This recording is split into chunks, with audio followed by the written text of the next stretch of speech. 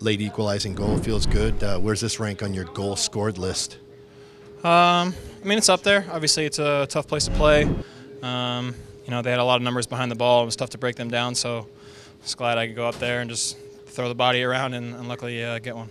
Your thoughts about the tussle all, all game long with Will Bruin?